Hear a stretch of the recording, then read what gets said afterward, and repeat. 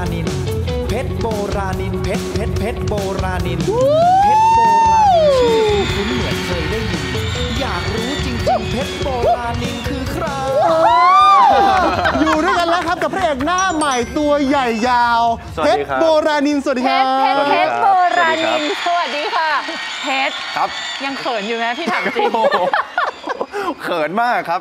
จริงเหรอ ยิ่งวันแรกที่โพสต์เพลงนี้ออกไปเนี่ยเขินมาก เพราะว่าวันนั้นน่ะ ผมอยู่สนามฟุตบอลกับอ่า ทีมกับเพื่อนอ่า ค่ะ ๆ แล้วก็ต้องต้องโปรโมทช่วงเวลาสองทุ่มอะไรประมาณนี้ ผมก็ค่ะลงไอจีไปเสร็จปุ๊บ แล้วเพื่อนนั่งพักกันอยู่แล้วก็โปรโมทคือปิดโปรโมทถืเพลงเนี่ยเหรอใช่ครับ พออ่าโพสต์เพลงนี้ออกไปแล้วเพื่อนในสนามฟุตบอลเห็น แล้วอยู่กัน 20-30 คนอุ๊ยอย่างเงี้ยในทีมเป็อะไรทีมเงี้ยสองทีมอะนะ ใช่ครับ อ่า แล้วก็ร้องเพลงผมขึ้นมาแล้วร้องใส่หน้าผม อ๋อเหมือนบูมเหมือนในมหาลัยเขาจะร้องเพลงใช่บูม ใช่ครับอันนี้ร้องเพชรโบราณินใช่ครับ เพชรเพชรเพชรโบราณินเนี่ยเหรอ ใช่คไม่รับแล้วครั้งแรกตอนที่เห็นพร้อมกับมิวสิกวิดีโอภาพต่างๆอะไรเงี้ยเพชรเป็นยังไงบ้างโอ้ยเขินเลยครับ ผมก็ถามพี่เขาว่าต้องมีชื่อผมเยอะขนาดนี้เลยเหรอพี่ แต่ชอบท่อนไหนสุดไหมเพชรบรนุชเพชรบรนิดอะไรนั่นแหเอละอเนี่ยแห่ไงนะที่เราเล่นกันตอนต้นรายการมันทำให้จำได้จริง จำเลยจำเลยมันก็จำง่ายแหละครับใช่ โอ้อะขอบคุณ ทีมเพลงนี้จริง ๆ นะได้ฮะครับที่ทำให้ขอบคุณครับ ตอนนี้ชื่อเพชรโหทั่วทั้งประเทศไทยแล้ว ถูก แต่ถูกต้องถูกเวลาแล้วคุณผู้ชมครับ เพราะว่าค่ำคืนนี้แล้วเราจะได้ชมภูผาผีคุ้มครับใช่ภูครัผาบครับผีคุ้มครับ เป็นยังไงบ้าง ตื่นเต้นไหมฮะเห็นบอกว่าถ่ายทำกันมายาวนาน เรื่องนี้ตื่นเต้นมากครับ ทั้งตัวเพชรเองเพื่อนๆนักแสดงแล้วก็พี่ๆทีมงานทุกคนเฝ้ารอวันออนแอร์มากอืมๆเพราะว่า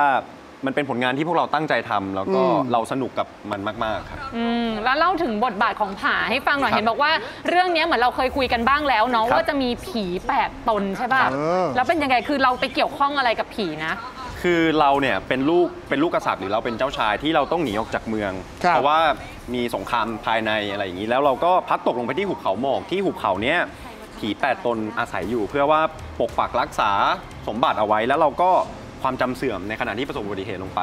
แล้วตื่นขึ้นมาเราก็เห็นผีได้นู่นนี่นั่นได้ แล้วท่านพราหมณ์ที่เป็นเป็นผีท่านพราหมณ์เนี่ยเขาก็นิมิตอนาคตว่าจะมีเด็กคนหนึงไปปลดปล่อยพวกเขาแล้วเขาก็เห็นเป็นเราอะไรอย่างเงี้ยครับเขาก็เลยรับเลี้ยงเราแล้วเราแล้วเราก็สามารถสื่อสารกับวิญญาณได้หมดเลย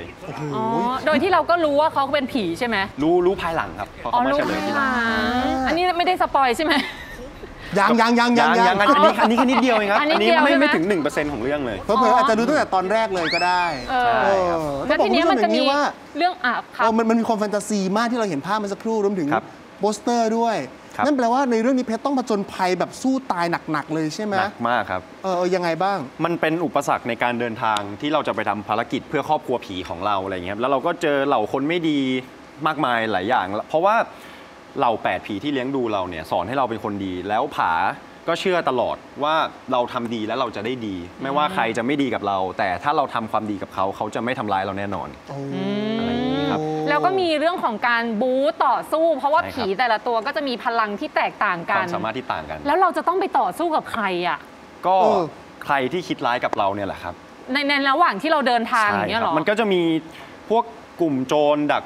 นู่นนี่นั่นดักปล้นเราบ้างอะไรบ้าง แล้วก็เราเราเราสื่อสารกับวิญญาณได้ ก็จะมีวิญญาณที่มาขอความช่วยเหลือจากเราว่า คนเนี้ยเคยทำอะไรกับเขาตอนเป็นคนบ้างนู่นนี่นั่นอะไรอย่างเงี้ยครับแต่ว่าเป็นผีที่สามารถแบบเด็กดูได้ไหมดูได้ครับไม่น่ากลัวไม่ได้แบบเลยน่ากลัวใช่เป็นใช่ปะเป็นผีน่ารักเป็นผีคุ้มครองคนอ๋อออ่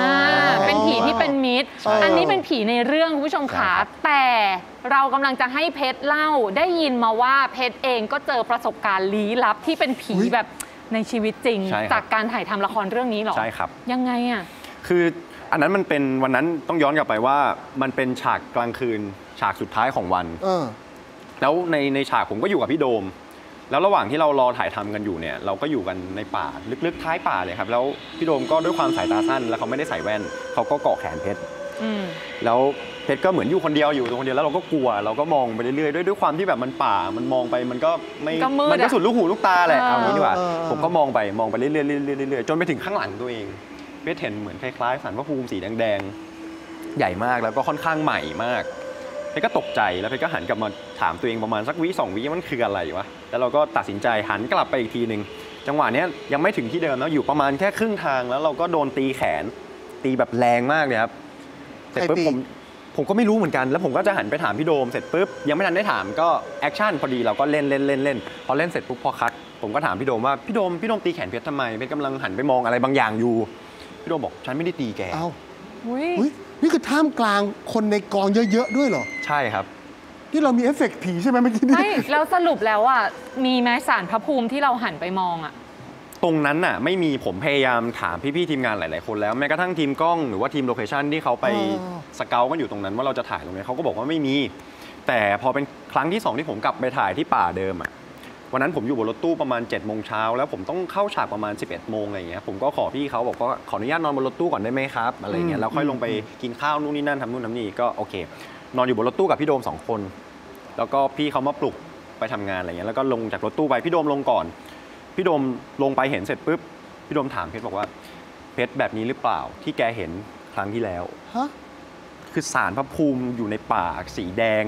ใหญ่มากเลยครับ ใหญ่มากแต่ว่ามันอยู่มันคือป่าเดียวกัน แต่ว่าคนละฝั่ง คนละ location น่ะ คนละฝั่งกันเลยครับ ใช่เหมือนเหมือนเฮ้ยประตู A กับประตู B ครั้งที่แล้วเราเข้าประตู A ครั้งนี้เออเราอยู่ประตู B แต่ตอนอ้าวไออยู่ตอนแรกน่ะเห็นไอ้ตรงนี้แล้ว ใช่ครับ เอ้าเหรออุ้ยเหมือนคุณเห็นอนาคตเหมือนกันนะ มันมันจะพูดอย่างนั้นก็ไม่ไม่รู้ว่ามันคืออะไรเหมือนกัน เพราะว่าทุกวันนี้ผมก็ไม่ไม่ไม่รู้ว่าจะเรียกมันว่าอะไร คืออะอันนี้เป็นความเชื่อส่วนบุคคลใช่นะครับคุณผู้ชมใช่ครับแต่ว่าถ้าใครฟังแบบนี้อาจจะรู้สึกว่านั่นคือสิ่งที่คุ้มครอง หรือครัว่าบเป็นเจ้าป่าเจ้าเขาหรือผมเปว่าล่าผมว่าเหมือนกันนะผมว่าคิดว่าถ้าถ้าเป็นเขาจริง ๆ ก็เขาก็คงมามาดีแหละ มาดีกับอืมเรามาในลักษณะที่ดีอะไรอย่างเพราะเงี้เรายก็ขออนุญาตอะไรแล้วใช่คเรียบร้อยใช่ไหว้ด้วยใช่ครับเออโอ้โห นี่เป็นประสบการณ์เบื้องหลังคุณผู้ชมขาแต่ว่าเบื้องหน้าคือสนุกสนานแล้วไม่ได้น่ากลัวแบบนี้นะใช่ครับเบื้องหน้าคือแบบว่าเป็นผีที่เป็นมิตรมาช่วยเหลือใช่ครับนะคะ เพราะฉะนั้นเออเพจค่ะวันนี้ออกอากาศตอนแรกเลยภูผาผีคุ้มฝากหน่อยค่ะ ก็ฝากทุกคนนะครับ ติดตามภูผาผีคุ้มกันได้นะครับ แล้วก็ทุกคนที่ดูภูผาผีคุ้มเนี่ยจะเติบโตไปพร้อมกับตัวละครผา แล้วก็ผมมั่นใจว่าทุกคนจะหลงรักผา และตัวละคร 8 ผีตัวอื่นด้วย หวังว่าทุกคนจะสนุกแล้วก็ช่วยกันเชียร์ผาด้วยนะครับ เชียร์อยู่แล้วเย้ขอบคุณวันนี้ครับหนึ่งทุ่มตรงตอนแรกภูผาใช่ผีครับ คุ้มนะครับ กับการประจนภัยของหนุ่มเพชรโบราณินของเราครับเพชรขอบคุณเพชรมากๆเดี๋ยวรอดูด้วยกันคืนนี้ครับนะครับ ขอบคุณครับ ขอบคุณครับ ขอบคุณขอบคุณเพชรครับค่ะ